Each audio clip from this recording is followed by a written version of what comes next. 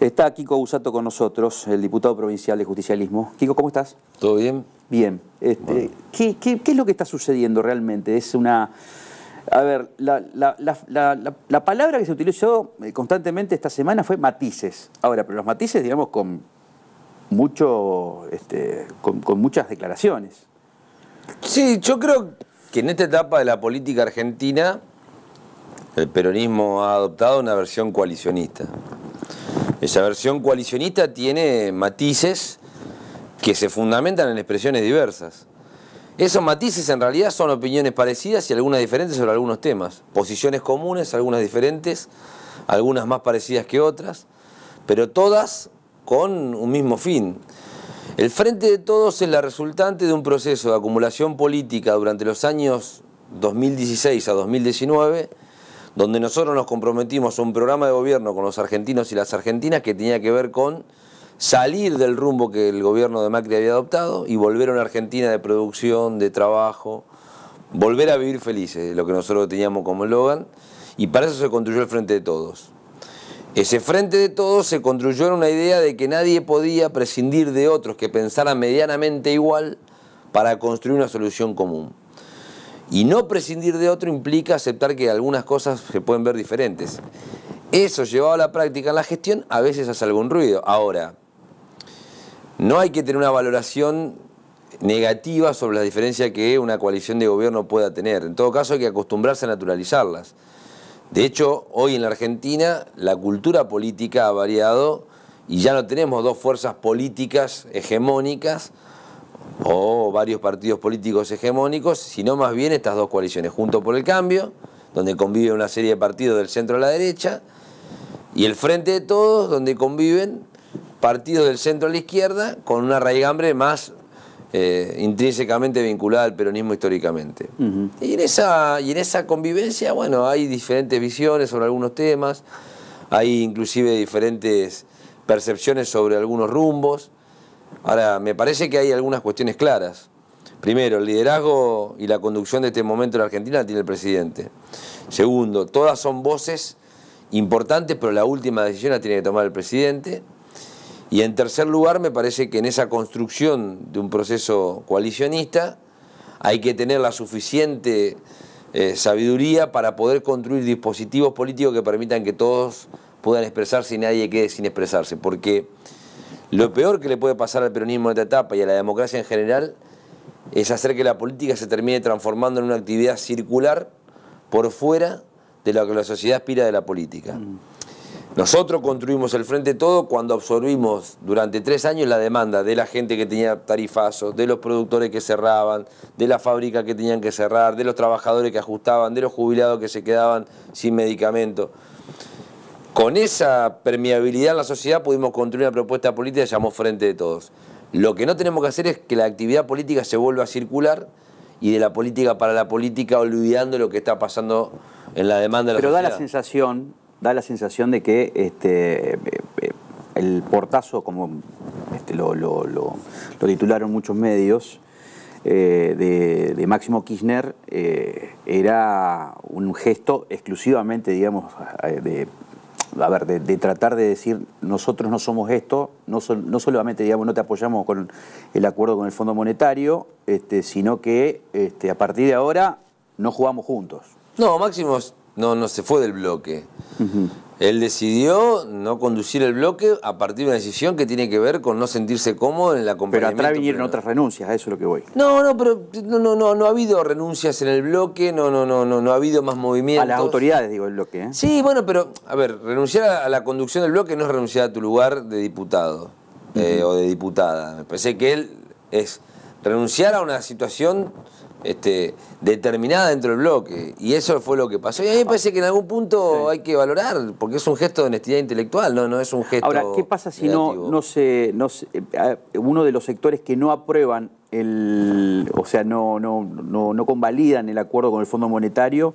termina siendo justamente el que liderado por, por Máximo. Hay que trabajar para que eso no suceda. Y si sucede, bueno, hay que ver cómo termina la votación y hay que seguir avanzando. La Argentina, digamos, la política, el mundo y la Argentina no, no, están sujetos a una coyuntura estática. Todo es muy dinámico y la verdad que estamos pasando una situación incómoda. ningún peronista, ni siquiera el presidente, está contento de tener que arreglar con el Fondo Monetario Internacional. Porque nosotros en realidad tenemos una situación de fondo que es, estamos muy en desacuerdo con que la Argentina haya tomado la deuda que tomó el gobierno de Macri.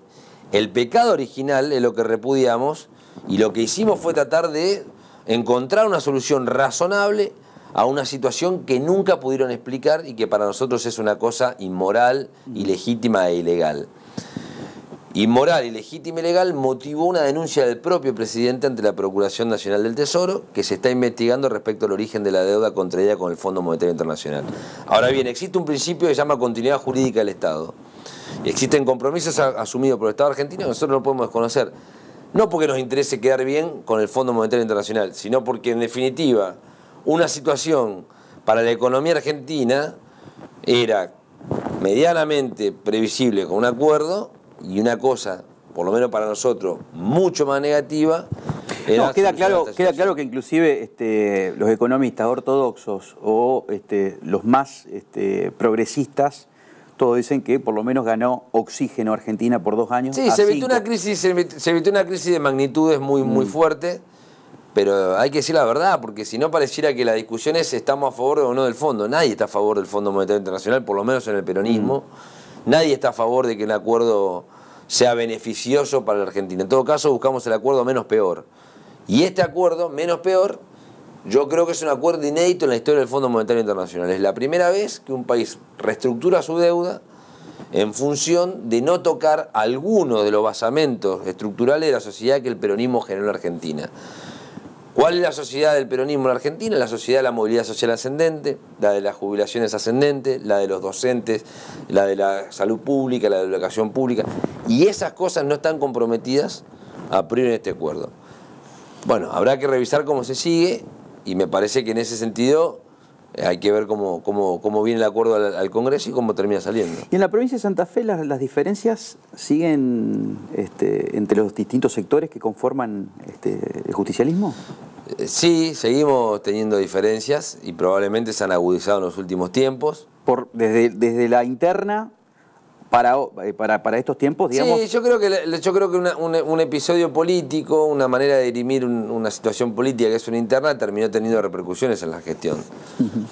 Han dejado de ser funcionarios recientemente algunos compañeros y compañeras de nuestro espacio político, sin mayor justificación que una decisión política como consecuencia de esa interna. Eh, y me parece que eso ha tenido una resultante en la conformación del frente de todos en la provincia de Santa Fe. ¿Y esto tiene vuelta? O sea, este, o, van a seguir así hasta el 2023? No, yo creo que el peronismo tiene que generar un escenario de participación masiva para el 2023, movilizarse, abrirse, tener un proceso de unidad y en esa unidad tener distintas variantes y distintas vertientes. Me imagino que un sector del peronismo, que es el que nosotros mayormente abrazamos, que es un, peronista, un peronismo comprometido con una visión progresista de la sociedad, que genere básicamente bienestar en la sociedad, que le plantea a los santafesinos y a las santafesinas tener una política activa respecto al empleo, respecto a la defensa de la producción, pero también respecto a cuestiones sociales críticas y, un mejoramiento sensible del tema seguridad con inclusión social, va a tener una propuesta propia. Yo no creo que tengamos una propuesta política electoral similar al actual gobierno. Pero eso no nos hace mejores ni peores, me parece que nos hace diferentes. Y en la diferencia nosotros vamos a tratar de crecer.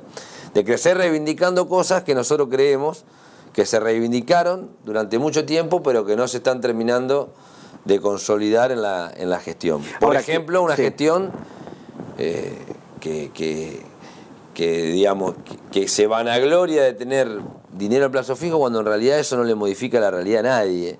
Eh, una, situación eh, de, de, una provincia que tiene un Estado muy ceñido a, una visión demasiado administrativista y, con, menos llegada en lo profundo de la sociedad, de la, gestión de lo que nosotros desearíamos. Pero bueno, son distintas visiones.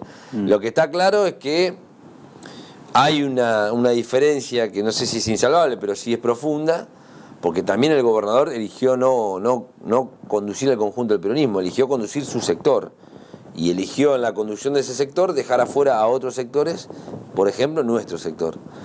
Digamos, y en eso tenemos total legitimidad para plantear diferencias, digo, no es un pecado ser diferente. Ahora que em, eh, la, digamos, el portazo de, Máximo Kirchner sea, este, digamos, una, una de, las, de las causas, digamos, que, una, un integrante del espacio político que vos eh, también participás, que es el rosismo, como se lo conoce, eh, que Germán Martínez sea el presidente, o sea, el reemplazo, digamos, eh, como, como presidente del bloque de justicialismo en la Cámara de Diputados, ¿Significa también que hay un espaldarazo de, Alberto Fernández al sector de, ustedes? O no, yo creo que no hay que medir. ¿Puede, por ejemplo, de estos rumores digamos, que hay este, constantes trascendidos que, puede llegar a ser parte del gabinete nuevamente Agustín Rossi? Yo creo que la, decisión de la jefatura de bloque en Germán es una decisión, yo creo, mayor sostenida, mayormente sostenida en su capacidad como legislador.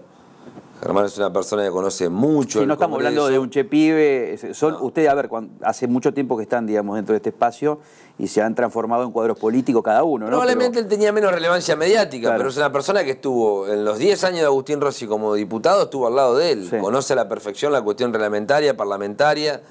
Es una persona que hoy es secretario general de la departamental del Partido Justicialista de Rosario. Digo, es un, es un dirigente con un nivel de formación y de en la Cámara que ese fue su principal virtud a la hora de la elección, no respaldarse a un espacio político en detrimento de otro. Después lo que sí te puedo garantizar, porque me, ha tocado vivirlo, es que nosotros nunca interrumpimos la relación que tuvimos con, ni con Alberto ni con Cristina, y que Agustín ha sido siempre un dirigente cercano y de proximidad a la gestión nacional, no solamente cuando fue ministro, porque ser funcionario para nosotros es una cosa transitoria. Ser militante, ser dirigente, abrazar las ideas son las que uno cree, para nosotros es para toda la vida y eso nos ha hecho tener siempre proximidad y cercanía. Tampoco yo creo en los procesos de cancelación. Y en esto hay que ser muy cuidadoso. No creo que nosotros tengamos que pensar que un dirigente político o un espacio tenga que cancelar a otro.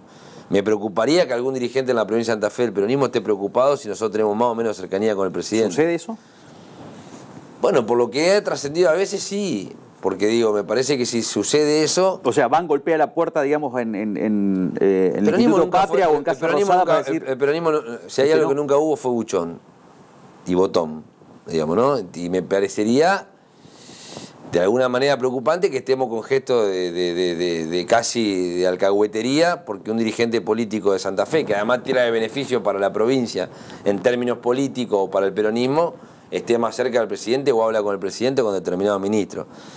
El peso de Agustín Rossi en, el, espacio del gobierno nacional no es un peso que pueda complicar a Santa Fe, al contrario. Y no es una cosa heredada porque fue parte de un andamiaje provincial. Tiene una trayectoria, tiene un camino, tiene un trayecto que me parece que se lo ha ganado siendo consecuente. Y eso debería ser una buena noticia para el peronismo Santa Fe, no una mala noticia. Eh, ¿Descartás que pueda llegar a ser jefe de gabinete? No me parece que en este momento el, presidente esté pensando en reemplazar a su jefe de gabinete. No creo que haya Bueno, pero ya dijo, dijo que Mansur se vuelve a Tucumán ahora. Si Mansur vuelve a Tucumán y el lugar queda vacío, Agustín puede tranquilamente ocuparlo, lo cual no quiere decir que, esté pensando en eso. Mirá, eh, yo lo he, hablado mucho con él últimamente, lo, lo venimos charlando bastante seguido. No hay para nosotros adhesión a un proyecto político en función del lugar que ocupamos institucionalmente. Solo no somos peronistas porque el gobierno es peronista. Somos peronistas porque defendemos un sistema de valores, de creencias, de acciones que para nosotros la refleja mejor el gobierno de la nación. Y si tenemos la posibilidad de honrarlo, siendo funcionario, transitoriamente lo haremos. Y si no, seguiremos estando. Eh, nuestra adhesión no, tiene fecha de vencimiento. En la medida que esas ideas, que esos valores estén presentes en la gestión. Si no, no lo haremos. Digo, ¿no? En su momento. Eh, eh, hicimos algunas cuestiones críticas en esta gestión provincial y por eso también tenemos alguna diferencia. Ahora, insisto, me parece que en este momento donde la sociedad busca que la política le dé respuesta, trabaje por los problemas circulares que hay alrededor de la, de, la vida de cada uno de los argentinos después de una pandemia muy dura, es momento de que la política tenga un poquito menos de vanidades eh, y un poquito más de apertura a los problemas comunes que estamos viviendo como, como ciudadanía. ¿no? Kiko, muchas gracias. A vos.